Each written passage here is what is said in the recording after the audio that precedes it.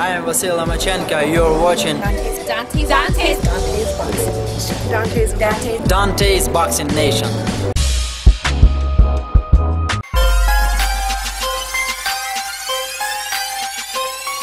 Well, I don't, I don't, I don't really know a lot of Chocolatito's opponents. You know what I mean? And when Chocolatito's finishing fight, and he's fun to watch. Don't get me wrong. He's great to watch. He's exciting. He's got a lot of offensive prowess.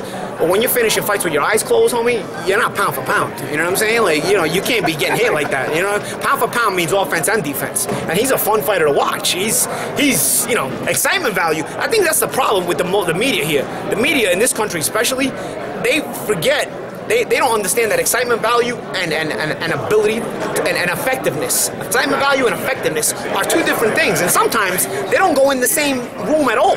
Sometimes you put they're actually in two different rooms. Sometimes they can be mixed together, but a lot of the times effectiveness and, and excitement value are in totally different rooms. Arturo Gatti was exciting as hell. He was never gonna be the number one pound for pound guy. You know what I'm saying? So Chocolatito is exciting as hell. He's effective to a degree. I don't know how effective he is getting uh, finishing fights with his eyes closed, though. You know what I mean? You're getting touched a little too much. The defense is part of the effective part of fighting. You know, it's, effectiveness defense, too.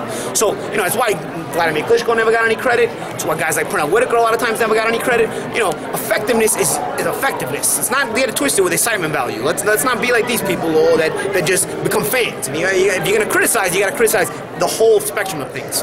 Do you believe the reason why some fans or even media members do that because they can't separate their personal emotions Absolutely. from talking about the fact? Yeah, absolutely. Because you know it's natural to want to root for the guy who gets your, your adrenaline pumping, gets your blood flow. Oh man, this guy is something. Oh man, you want to root for him. Now you all of a sudden you start creating scenarios in your mind. Like, oh, he's the best. What is he the best at?